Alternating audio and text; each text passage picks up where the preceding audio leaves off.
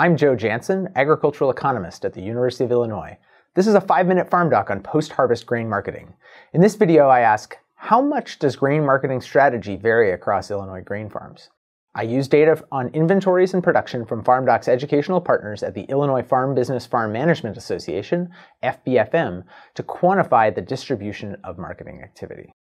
Like fingerprints and snowflakes, no two farms are exactly alike. So it is with post-harvest grain sales decisions. After harvest, farmers face an important choice, whether to sell now or store in anticipation of higher prices later in the marketing year. In a previous video, I showed that waiting is common. Around 60% of corn and soybeans produced in Illinois remain unmarketed at the end of the calendar year, producing a significant price risk management challenge for farmers. While we don't have detailed records on grain marketing sales, forward contracts, or deliveries at the farm level, FBFM data do tell us the quantity of grain farms hold on their books as inventory as of December 31st each year. These book inventories are correlated with the proportion of the crop the farmer has sold.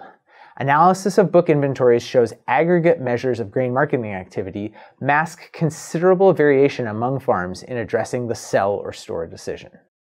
Together, Illinois FBFM farms hold about 80% of production as book inventories on December 31st. However, individual farms vary widely from this aggregate level. To demonstrate, I show the distribution of farms by their book inventory as a share of annual production. This distribution looks similar for both corn and soybeans. There's a prominent spike at 100%, showing that about 40% of farms hold essentially all of their production in inventory at the end of the calendar year. There's a small group, about 5%, that hold even more grain in inventory. Remaining farms hold some level between 0 and 95%. In this less than everything stored group, higher levels are more common, but there are some farms that have essentially moved the entire crop by the end of the calendar year. The distribution shows post-harvest grain marketing is an important activity for most farms. For some, it's the major way in which grain gets sold.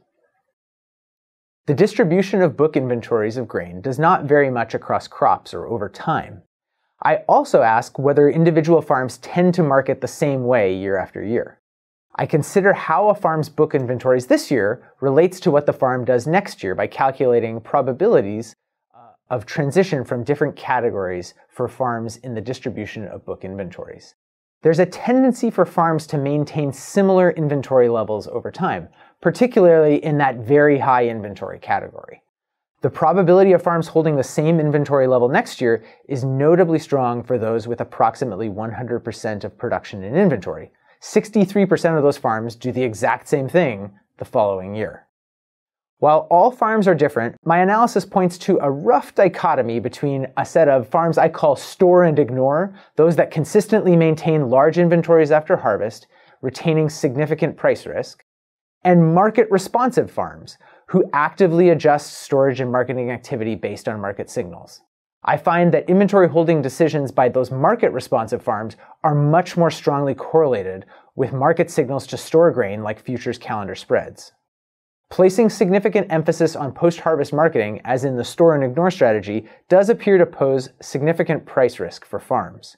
Future articles in this series will delve into economic benefits and costs of post-harvest grain marketing and storage, shedding light on the reason for the varied marketing behavior observed across farms. For more information and a link to the article on which this analysis is based, check the description below. I'm Joe Janzen from the FarmDoc team at the University of Illinois, and this has been a 5-Minute FarmDoc.